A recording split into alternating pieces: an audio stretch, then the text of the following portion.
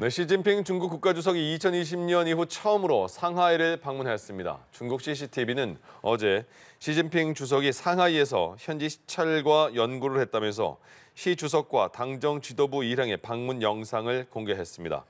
홍콩 사우스 차이나 모닝 포스트는 강력하고 건전한 금융 분야에 대한 당국의 지원을 강조하는 상징적인 제스처라고 짚었습니다.